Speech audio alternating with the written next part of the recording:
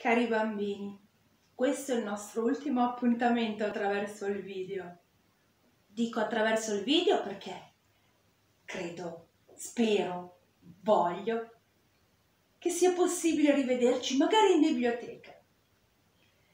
Presto riapriranno. Ce lo auguriamo tutti perché le storie racchiuse lì dentro sono tantissime e con me ne avete viste solo poche.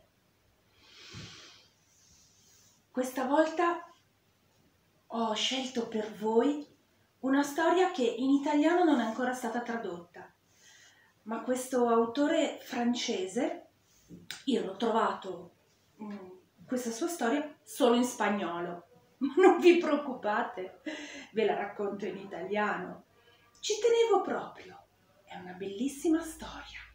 Quindi adesso uno, due, tre, bocca chiusa adesso è.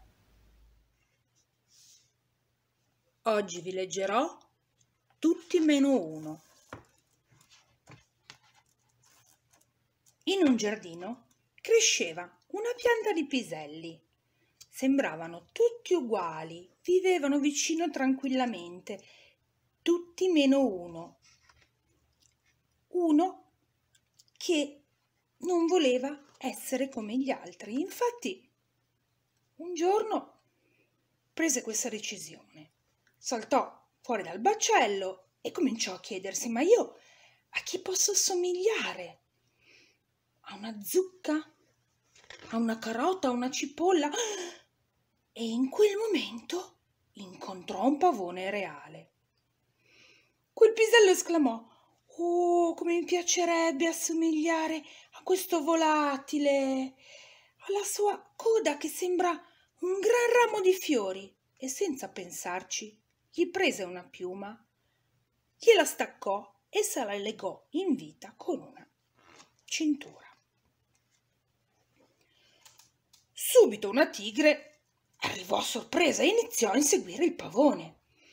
A vedere la scena, il pisello pensò, ma come mi piacerebbe essere come quella belva. È coraggiosa e ha una pelliccia molto elegante. A quel punto non innuggiò, prese una matita e si ricoprì di righe e si sentì subito bello e anche audace. Un elefante arrivò col suo barrito fortissimo e la tigre scappò. Il pisello pensò, mmm, mi piacerebbe essere come questo animale. Ah, quel naso è così grande e lo rende imponente. Quindi prese subito un filo d'erba e si fece una proboscide. Così sentì proprio che incuteva rispetto ho raccolto il meglio dal pavone reale, dalla tigre e dall'elefante, pensò con molto orgoglio. A quel punto pensò di tornare a casa. A vederlo arrivare, tutti gli altri piselli cominciarono a ridere e a fare ogni genere di scherzo.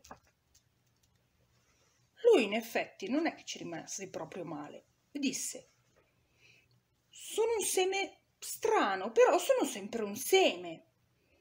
Allora, come tutti i semi, scavò un buco nella terra e si accucciò con la sua piuma, le sue righe e la sua proboscide. Passò l'autunno, l'inverno e la primavera, finché un giorno la terra celebrò la nascita di una nuova pianta, unica e singolare, piena di piselli, tutti diversi e tutti felici.